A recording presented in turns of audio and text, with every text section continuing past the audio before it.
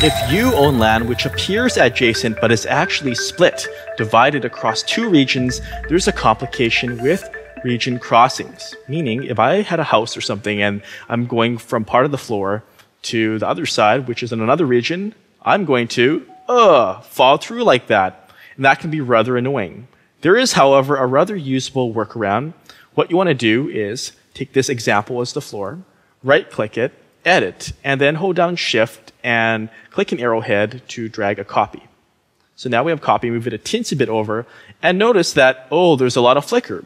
So one way to deal with that is to slightly diminish the size. Like I'll just click this to make it just a teensy bit smaller. And now, notice that's being ameliorated. So, when I close that, when I jump back on, whoa. And then when I cross over now, ooh, I'm fine. And then I go back another way, sunshine, and I still stay on the platform. So while it's not perfect, like I said, it's a usable workaround.